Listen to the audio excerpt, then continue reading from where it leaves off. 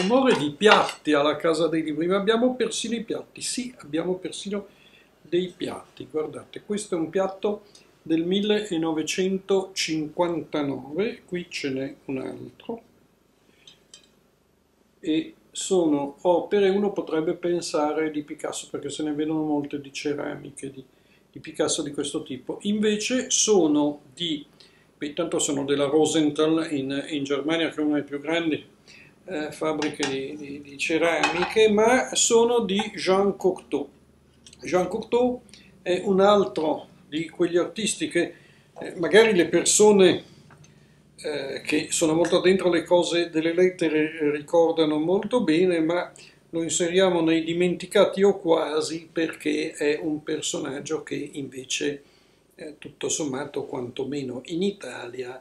non è così ricordato. E eh, se avremo eh, la capacità di intrattenervi abbastanza, vi raccomandiamo allora una gita a Mentone, appena dopo il confine italiano, dove c'è un meraviglioso museo Cocteau con tutte le sue opere, i suoi disegni, le sue opere letterarie, quelle cinematografiche, eccetera, che eh, è anche un posto molto piacevole, quasi in riva al mare, l'hanno fatto da poco molto bene. Cocteau sì, dimenticato sì e no, però se pensiamo che eh, solo quest'anno al Festival di Venezia Almodovar ha presentato un film con la Tinda Swinton che eh, si chiama La voce umana ed è un monologo, un monologo di mezz'ora su testo appunto di Jean Cocteau dove c'è una sola attrice che sta al telefono. Fondamentalmente è una telefonata, appunto quella della voce umana,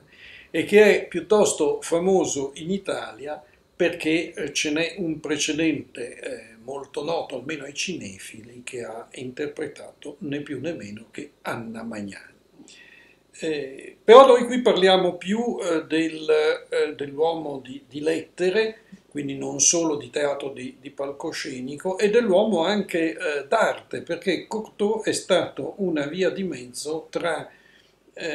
l'arte e, il, eh, e, la letteratura, appunto il teatro, è stato un uomo molto molto eh, versatile. In quella Parigi meravigliosa dei primi anni del Novecento fino più o meno al 1960, lui muore nel 62, e dove eh, frequenta un po' tutti, tutti quei nomi che appunto oggi in alcuni casi sono magari un po' meno noti, per esempio Blaise Sandrard, straordinario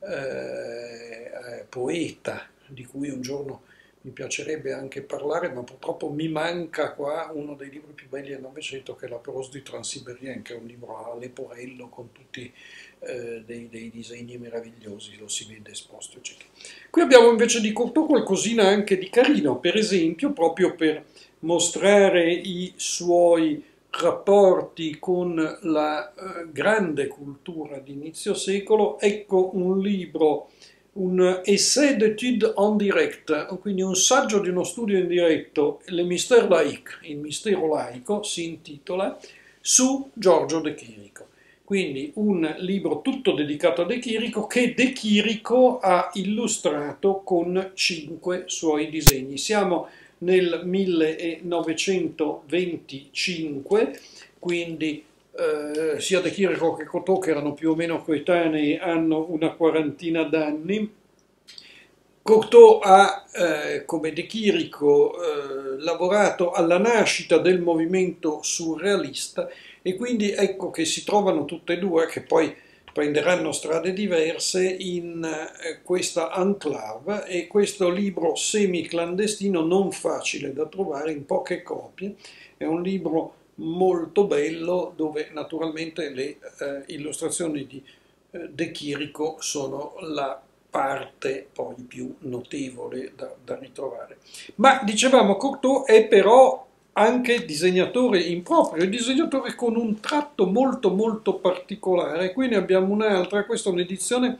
del cosiddetto service de presse, cioè sono quelle edizioni che i francesi facevano un tempo da mandare alla stampa, quindi sono fondamentalmente delle prime edizioni. Loro facevano delle edizioni numerate e poi eh, qui come è scritto, davano tutta un'indicazione della tiratura e se c'è scritto SP, SP vuol dire appunto eh, che è un'edizione per la stampa Serviste Press. E vedete che anche qua, questo è un libro sulla corrida du, du premier mai, la corrida del primo maggio, ed è um, anche un libro, tra l'altro sembra grande, ma è scritto con caratteri molto molto grandi, ed è pieno di disegni di Cocteau, così come qua vedete il disegno che è vicino al frontespizio, che è anche ripreso nella copertina. Un uomo che va sempre al confine e quindi anche quando eh, viene deciso di ricordarlo, eh, per esempio nella collanina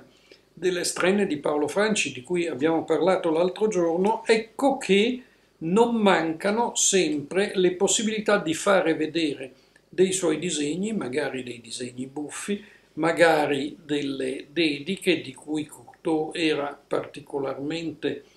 prodigo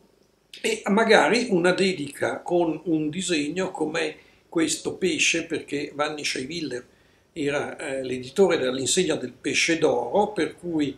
eh, Cocteau gli fa una immagine molto particolare, siamo nel 59, di un pesce tutto abbigliato in ghingheri, e poi gliene fa un altro, si diverte a fargli delle sorte di aringhe, tutte eh, disossate con la sola lisca. Quindi questo era l'uomo Cocteau, un uomo eh, che muore poi abbastanza, non giovanissimo, ma insomma è 62, non ha, non ha ancora 80 anni, e di cui la casa conserva tutta una serie anche di edizioni dove sono riportate tutte le lettere che, e, e le dediche che lui ha fatto a qualcuno che man mano vengono fuori e che mostrano sempre questo tratto particolarmente giocoso ma anche molto colto, queste sue figure che sono abbastanza eteree appena disegnate in silhouette ma eh, certamente molto particolari. E poi comunque va ricordato, perché qua parliamo di uno scrittore, che ci sono delle opere che ancora possono essere lette con un certo profitto, a parte alcune poesie che sono molto belle, io penso che poi l'opera più eh, nota e che merita oggi di essere riletta è eh, Les Enfants Terribles, I ragazzi terribili, che è un romanzo e poi adattato per il teatro ancora degli anni venti, quindi un'opera del, diciamo, non del primissimo Cocteau, ma del Cocteau eh, medio, Cocteau già maturo, ma non ancora anziano.